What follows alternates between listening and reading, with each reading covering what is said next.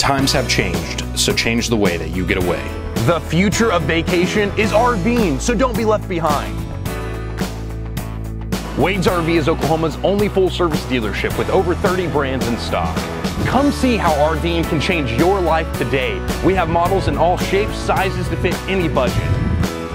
Start turning miles into memories this weekend. Wade's RV.